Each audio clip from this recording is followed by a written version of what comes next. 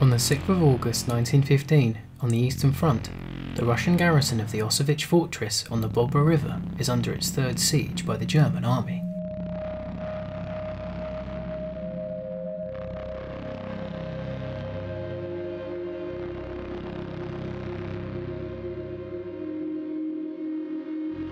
Troops of the 226th Infantry Regiment along with militiamen hold the line, but the German artillery pounds them with gas shells.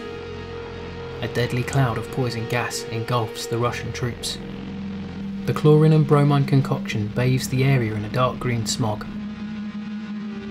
The Russian troops quickly fall victim to the gas attack. Many of them have no gas masks at all. Some men quickly improvise and create makeshift coverings, soaking rags in urine to combat the deadly gas. The German gas attack proves to be devastating to the Russian troops defending the fortress.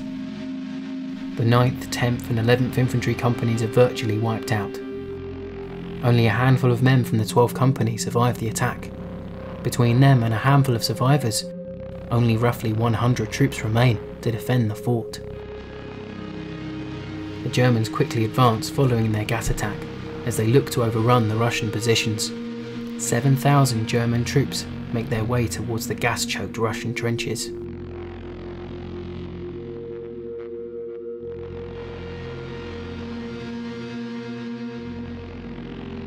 When to their horror, Russian troops rise up seemingly from the dead and start to fight back. Their faces wrapped in bandages from burns caused by the gas, they bleed through their rags and cough up blood as they gallantly charge. The surviving Russian soldiers mount a heroic bayonet charge against the oncoming Germans. The German troops turn back terrified by the zombie-like soldiers facing them. 100 dead men of the Russian army defeated 7,000 German troops in one day, in what has to be one of the most bizarre episodes from military history. The attack of the dead men has fallen into history folklore in the years since. It always seems to pop up this time of year, and I thought, as it's Halloween season, I would feature a couple more of the spooky moments from military history. Stay tuned for the next instalment and don't forget to share, like and subscribe.